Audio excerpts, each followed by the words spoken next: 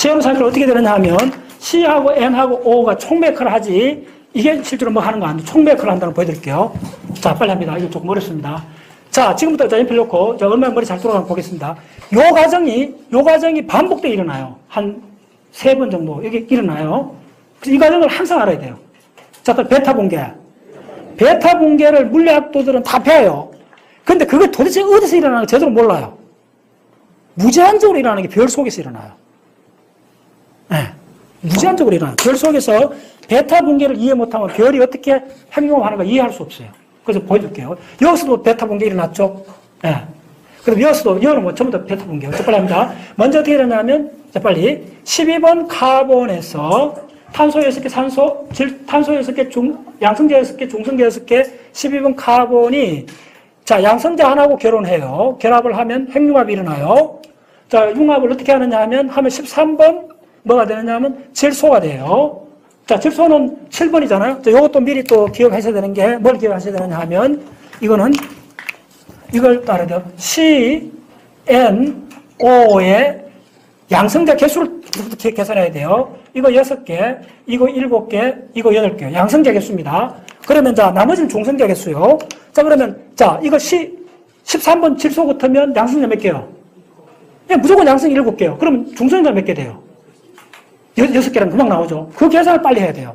예, 그 계산 늦어지면 못해요. 자, 그러면 요건 어떻게 되느냐 하면, 곧장 방사선이 안 나오고 간만에 그냥 나와요. 그럼 이 베타 분기 했어요, 안 했어요? 질문. 베타 하면 반드시 포지트론이 나와야 돼요. 근데 베타 분기 아니에요, 이거는. 이건 간만에는 뭐냐면 이쪽에 두 개 하는 운동 에너지가 이렇게 바뀌어지는 거예요. 자, 그 다음에 시연의 사이클에서 두 번째, 자, 13번 질소, 자, 질소, 양성자 7개, 여기서 드디어 베타 분기가 일어나요. 그럼 어떻게 되느냐 하면, 자, 13번, 그 질, 요 13번 뭐냐면, 어, 양성자 7개, 중성자 6개요. 그게 반대로 어떻게 되냐면, 13개인데, 카본,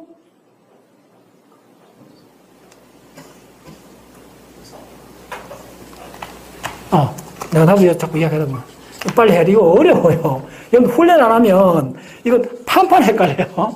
자, 빨리 하겠습니다. 요거에서 어떻게 되냐면, 드디어, 이렇게 와갖고,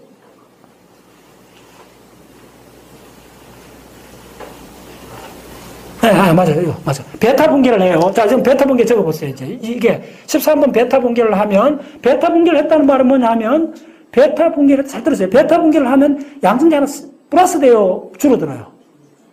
베타 붕괴를 하면. 지금 이 붕괴를 하면. 이건 사실 reverse 베타 붕괴인데, 이 붕괴를 하면 양성자는 줄어들잖아. 그럼 양성자가 줄어드니까 원자번호는 어떻게 돼요? 백을 해줘야 돼요. 그러면 뭐냐면 13번 카본이 돼요. 이해했나? 그럼 이건 저 양성자 몇 개요? 양성자 6개, 중성자 7개. 여기는 양성자 7개, 중성자 6개. 스위칭을 하는 거예요. 그럼 그 양성자 하나가 중성자로 바뀌었고, 그 과정에 포지트론 나오고, 뉴트리노가 나오는 거예요.